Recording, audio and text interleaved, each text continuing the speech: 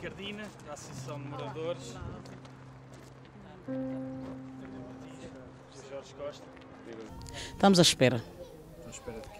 de alguma solução, que alguém pense em nós, diz, olha, opa, esta gente no século XXI não pode viver sem luz e tomarem alguma atitude e alguma decisão. Nós, como associação, estamos à espera de alguma conversação para ver se conseguimos realizar pelo menos o sonho. O sonho das pessoas aqui do bairro da Torre não é viver no bairro da Torre, quer dizer, não é morar nessas casas, nessas condições, mas pelo menos como a Câmara diz que não tem casa para eles, as pessoas que estão aqui no bairro da Torre, pelo menos luz. Para a segurança social, para, para as finanças, Quando é para pagar, sempre. tudo, para pagar, para tudo, tudo, nosso endereço é bairro da Torre. Quando é para ter luz, nós, estamos em, em bairro ilegal. A única pessoas que têm vindo é os senhores e outros mais que vêm aí, não é que seja a Câmara que venha aqui dar uma opinião deles, não. É os senhores e uns e outros que vêm aqui, um diz uma palavra, outro diz outra, e o tempo vai passando e nunca mais saímos daqui. E aqui morremos e não teremos o logro de estrear uma casa, nem em segunda mão, nem usada, nem nova. Nunca vamos. Temos sempre à espera dessa resposta, até hoje. É, nós estamos numa situação em calamidade. Por quê?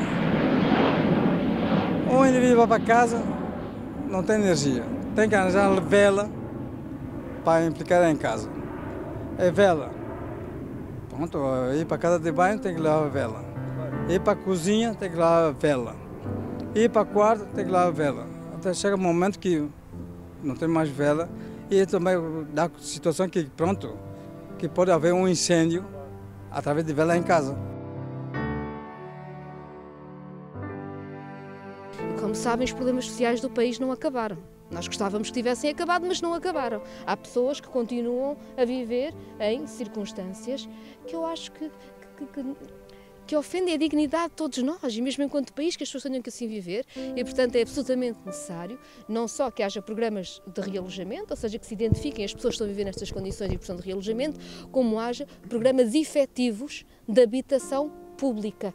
O direito à habitação é um dos direitos constitucionalmente consagrados, mas é, digamos assim, aquele pilar do Estado Social que nunca foi construído. Saúde, educação, segurança social e a habitação ficou por fazer, continua por fazer, e eu acho que qualquer pessoa que vê as condições em que vivem estas famílias, admitamos que se possa viver assim na Europa no século XXI.